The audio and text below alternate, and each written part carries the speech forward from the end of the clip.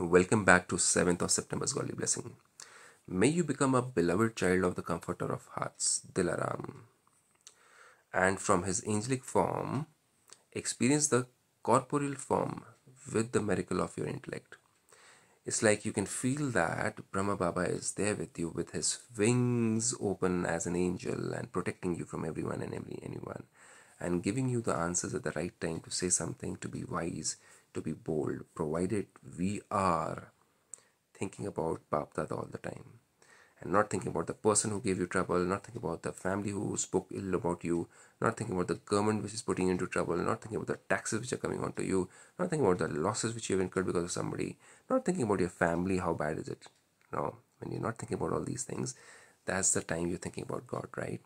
And when you are in your state of mind, when you have taken control of your intellect and you're focusing all your thoughts on your beloved Dilaram, Bap Dada, then you can actually experience Adam in his complete form with you, even if you have not been there with him physically.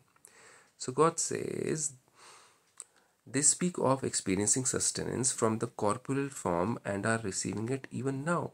Those who, who have just come recently into Brahma Kumaris. They have not seen Brahma Baba, they've not been with him, even including me, I have not been with him.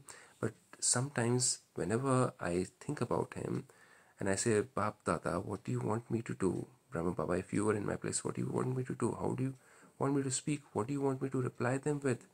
And I get the answers with so much of power as if he's there with me.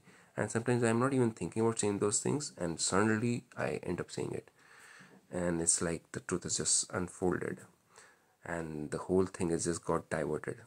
So to experience the corporeal form whilst in the angelic form is to have love in the intellect. Towards whom? Towards the creator and his first creation. It is the practical form of love. This also proves the miracle of the intellect.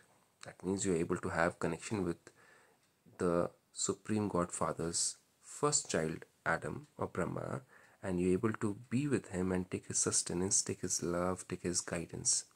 Such children become the beloved children of the Comforter of Hearts and come close to the Father. Now, this is about Shiv Baba, the Comforter of Hearts. Brahma Baba is not the Comforter of Hearts, Shiv Baba is the Comforter of Hearts.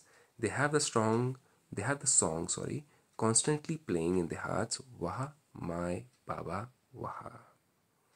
So, with the help of Shiv Baba, through Brahma Baba, we can experience God and we can experience Brahma Baba also, who's a complete form right now after leaving his physical body.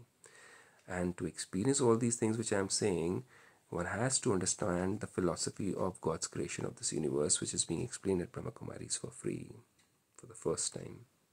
Om Shanti with this.